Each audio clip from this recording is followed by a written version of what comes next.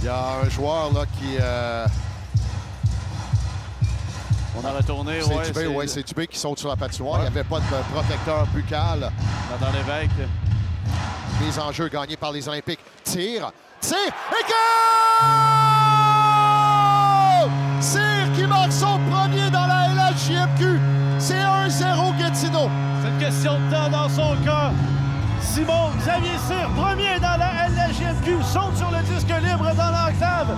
N'hésite pas, prend un tir, un tir qui dévie devant le gardien la selle et qui finit dans le fond du filet. Simon Xavier Cyr, premier dans le circuit. Mise en jeu gagnée par Justin Boissel.